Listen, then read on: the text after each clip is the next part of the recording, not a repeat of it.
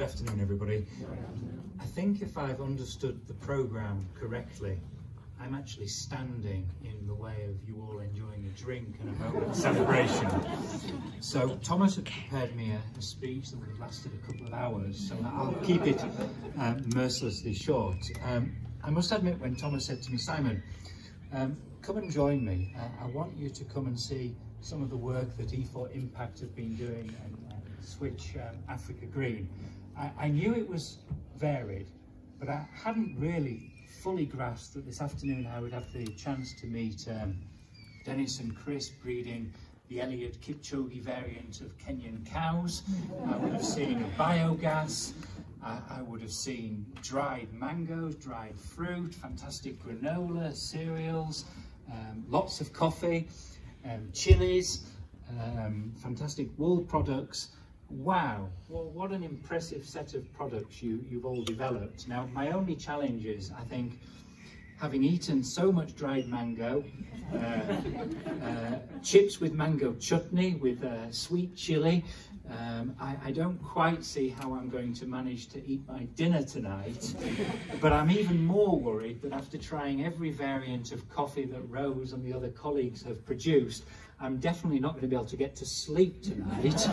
but what I was thinking is perhaps I can spend the evening browsing the internet and ordering for my wife some of the natural cosmetic products, the essential oils and the fantastic blankets and Kenyan shirts developed. So um, for me, more seriously, this is a wonderful example of what the EU does best.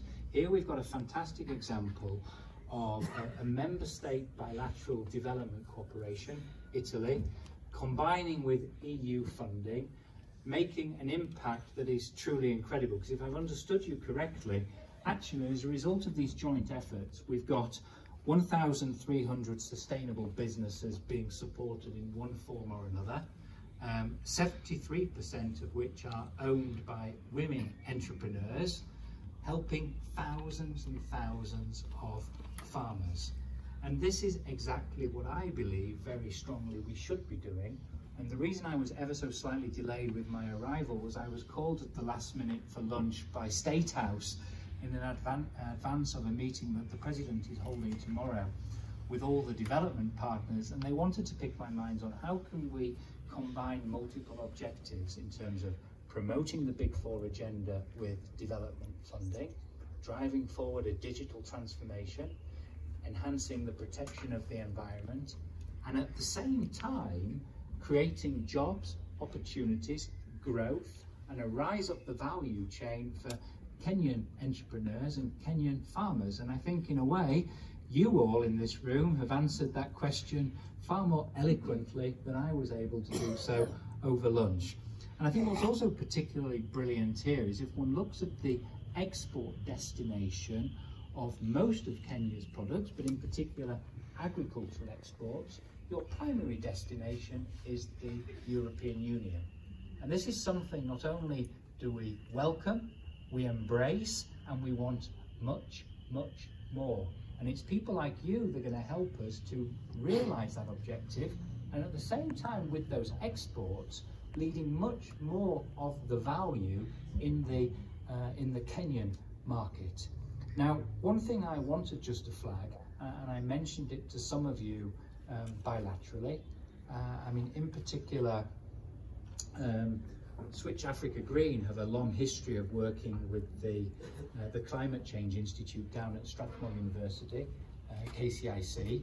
Um, and on Friday, actually, this week, we will be launching a 5 billion uh, Kenyan shilling new program um, on the agricultural sector, focused on how can we support Kenyan entrepreneurs to rise up that value chain it will be a mixture of startup grants for some of the really small companies combined with hand-holding, technical expertise, how to market your um, products, how to do a bit of marriage brokering, find exporters, uh, find markets in the European Union. And for some of the more established businesses, um, uh, sub subsidised credit, where also you're not being asked to prove land titles for your collateral, but actually the the, the worthiness of your business plan will be assessed. And I think having spoken to a, a few of you today from, from the lady who was currently uh, drying her fruit at the um, uh, at the Kenyan Institute or government-owned facility wanting to expand to people looking for more land, more,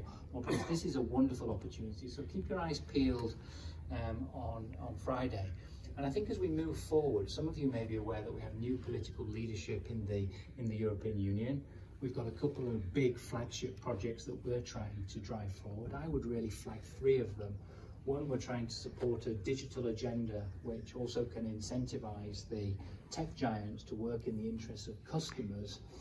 Um, we're also working on what we're calling a, a Green Deal, how we can promote environmentally friendly growth and mitigate the impact of the uh, on the climate.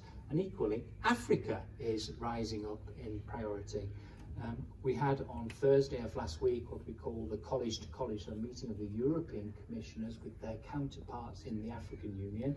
We had 20 European Commissioners travelling on to Addis Ababa, and I was proud on Thursday night to pick up from the airport here the Vice President, the Executive Vice President of the European Union, who's in charge of the digital agenda, Margrethe Vestager, on her first bilateral visit outside the European Union, demonstration, if you like, of our commitment. And what I think is fantastic is if we look at some of what you're doing, it very much fits in this whole agenda. So I would also expect in the next six months, as we finalise our priorities for the next kind of budgetary period of the European Union, which is from the period the 1st of January 2021 to 2028, the kind of small, relatively small scale project and the fantastic impacts we've seen here, I think the opportunities for scaling this up and rolling this out at a much higher level are, without any limits. So this has been a fantastic opportunity for me to, to meet you all. Um, I've got my shopping list for the trips to the supermarket and the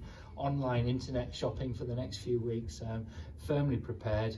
Um, I think it's great to see this cooperation with the um, work of the Italian Agency for Development. Uh, I've been always since I arrived a huge fan of what Switch Africa are doing. So thank you very much and keep up this fantastic work.